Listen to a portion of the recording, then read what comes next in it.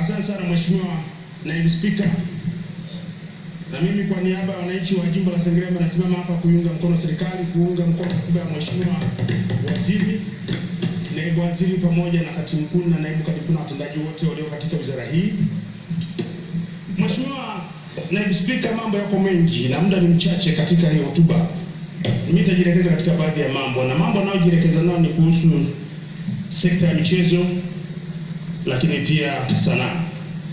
Mheshimiwa Naibu Spika, mwaka huu umekuwa ni mwaka wa taifa la Tanzania kwa mafanikio katika sekta ya michezo na hasa soka pamoja na tasnia ya sanaa. Wote tumeshuhudia Mheshimiwa Naibu Spika, tokea mwaka jana wakati ambapo bunge lako tukufu lilipokwenda kushiriki mashindano ya nchi za Jumuiya ya Afrika Mashariki kule Bujumbura, Burundi, wachezaji wako wa timu ya Bunge Sports Club wakijumuisha mchezo mbalimbali washiriki kwa ufanisi mkubwa sana. Tumepata medali nyingi za kumwaga za dhahabu, fedha na hata hata hata hata zingine ambazo zilishindaniwa, lakini nataka kusema tu ni kwamba yote hii imetokana na maandalizi mazuri, na kwa nafasi ya Bunge Sports Club tunampongeza na Mheshimiwa Spika, wewe Mheshimiwa Spika, wenye viti wa kamati. Na wabunge wote kwa ujumla, kwa namna ambavyo wamekuwa mwingi mkono sekta hii, na sisi ndio wasimamizi wa sheria zinazohusisha mambo ya michezo, sanaa na mambo mengine. Kwa hivyo tumetembea katika maneno yetu na tumeonyesha kwa vitendo. Asante sana, tunampongeza na Mheshimiwa Spika, na ndio maana hata leo asubuhi wakati anasimamia session ya maswali na majibu ametoa taarifa kwa Watanzania kupitia bunge hili tukufu kwamba tarehe 26 mwezi huu mwezi wa nne tutakuwa na mechi ya kirafiki kati ya Bunge Sports Club kwa football na netball pamoja na baraza la wawakilishi. Jambo jema, lakini Mheshimiwa Spika, ushiriki wetu sio wa kupoteza muda, tunatumia fedha za serikali, lakini pia zinatupa fursa sisi kama taifa kupitia Bunge la Jamhuri ya Muungano wa Tanzania kujua na kufanya itifaki ama kufanya uta, utafiti kwa yale ambayo yanatuhusu kwa manufaa ya taifa letu. Kupitia hili dirisha la ushiriki wetu, ninaamini kwamba serikali kimkakati inaweza kujua kuna kinachotokea kwenye nyumba za jirani. Sitazungumza kwa maneno mengi, lakini nafahamu Watanzania na hasa wanaoshiriki katika mambo ya kusimamia haya maeneo wanajua namaanisha nini. Ukijua kwa jirani kunatokea, ni rahisi sana kujipanga na kujua kesho kutakuwaje kwa manufaa ya taifa letu. Kwa hivyo tuendelee kuunga mkono ushiriki wetu. Lakini la pili, naipongeza sana timu ya taifa, imefanya kazi kubwa. Mheshimiwa Mwalimu Mwakembe, Dr. mwalimu wetu, umefanya jambo kubwa pamoja na wenzako. Miaka 39 imepita tangu kushiriki mashindano ya fainali za AFCON. Mwaka huu tumekwenda tunakwenda kushiriki, ni jambo jema sana. Hatujafikia hapa kwa bahati mbaya, ni kwa sababu ya maandalizi. Tumeona ushiriki wa serikali na hata Mheshimiwa Rais amekuwa akitoa hamasa.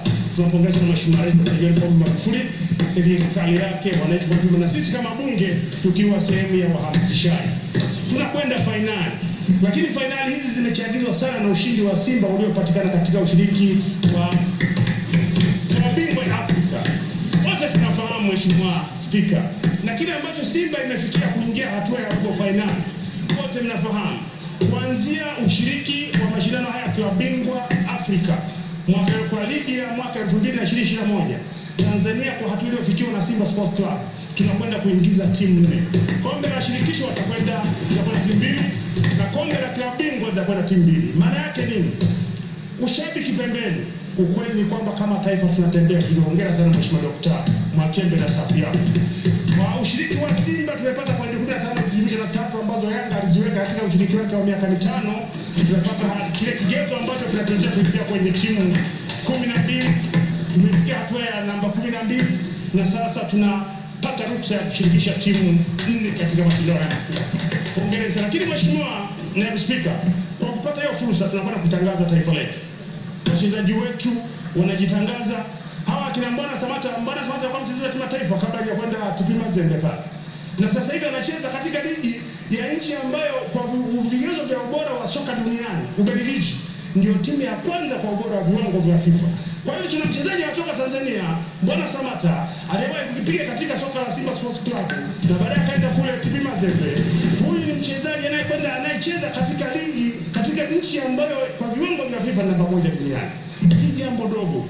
Maana ni kwamba na ni mfungaji bora anaongoza zaidi ya magoli zaidi ya magoli 21 kwenye kwenye ligi. sema wapo wakina mchukua wapo wengi na kwa hiyo ushiriki wetu wa timu ni utakwenda ku expose timu zetu kushiriki katika faida kwa maana ya faida ya timu yetu, kwa maana ya faida ya nchi yetu. Lakini jingine, Mheshimiwa Spika, nitaka kusema, Mheshimiwa Naibu Spika, tunakwenda vizuri kwa sababu serikali, wadau na sekta binafsi zinashiriki. Jambo langu ambalo nataka kulipendekeza kwa, kwa serikali na hasa kupitia kwa waziri mhusika hapa ni kwamba tuimarishe sana sports academy. Watu wote hatuwezi kuwa wabunge, watu wote hawezi kuwa mainjinia, watu wote hawezi hatuwezi kuwa walimu, watu wote hawezi kusoma mpaka vyuo vikuu. Hizi ni fursa kwa manufaa ya Watanzania. Tujenge sports academy nyingi, nikiwezekana tujenge sports academy kikanda. Na pia Sengerema tuna uwanja mkubwa sana. Mheshimiwa Mkuu nishamwomba, nishaomba serikali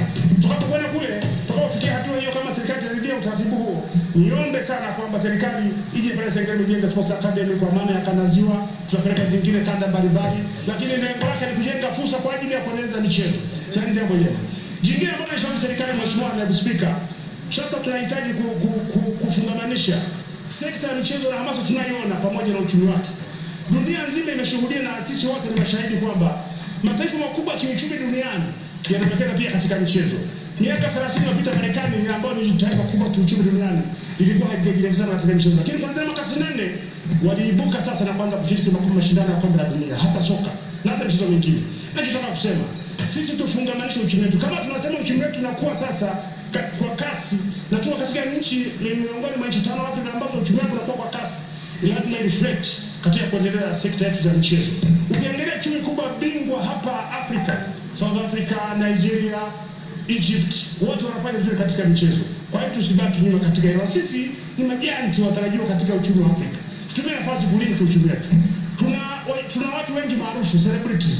Nilikuwa nadhani kwamba ni muhimu. Leo ukiingia maduka, ukienda pale New York City, utakuta majina ya Watanzania wameunganishwa wamejifungamanisha kwa kupitia shughuli za kibiashara na makampuni makubwa ya design unakuta wapo wakina Flavia Matata, wapo wakina Happiness na Grace na Helen, Helen, wapo Watanzania wengi. Leo tuna tuna wakina Raymond hapa Revan, tuna wakina Alikiba, wakina Raymond. Hawa tunahitaji kufungamanisha kwa shirikana sekta ya utalii. Naamini kwamba tunaenda tunaweza kuendeleza vizuri sana katika sekta ya utalii, kufungua fursa kwa Watanzania wengi na hatimaye kufanya vizuri. Lakini Mheshimiwa Naibu Spika, kwenye ile mafanikio ya Pokos Challenge na nafahamu katika hali yako mambo ambayo tunaweza kufanya vizuri kwa sababu ya hamasa tu. Nataka nitumie nafasi hii kumpongeza sana mhamasishaji na msemaji mkuu wa Simba Sports Club, mtani wetu Haji Sande Manara amekuwa ni kigezo na kielezo mpaka FIFA wamemtambua. Juzi nimeona hapa watu wa Instagram amefikisha followers zaidi ya milioni moja, lakini kwa kweli kwa hamasa aliyoifungua, na ndio maana tunaona hata timu ya taifa Simba Sports kwa miaka mingi imekuwa ndio timu pekee ambayo inajaza uwanja wa taifa kwa kuingiza zaidi ya watu 60,000 wanaingia kwa kiingilio. Maana yake ni tunahitaji kuhamasishana kama taifa, tusimame pamoja, na mnafahamu wako wasemaji wa vilabu vikubwa hapa Tanzania wao wanacheza kwenye kwenye blog tu, lakini huwezi kuwasikia. Lakini michezo hii inahitaji kusema na kusikika. Ninachoomba Tanzania tusimame kwa ujumla wetu, tuhamasishe michezo. Nimeona maarifani kwamba tumesababishwa baadhi ya mambo yanayosababisha makusanyo ya kama chache katika wizara hii ni pamoja na kuonyeshwa michezo hii live kwenye television na kwenye app. Lakini nasema kama Simba anaweza kujaza uwanja na hizi michezo zinaonyeshwa kwenye television, kwa nini tusihamasishane kama taifa? Tutumie hiyo fursa kuwepo kuonyesha hii michezo live isiwe kigezo cha kupunguza mapato yetu, kwa sababu ushahidi tunao sisi kama taifa kupitia Simba Sports Club.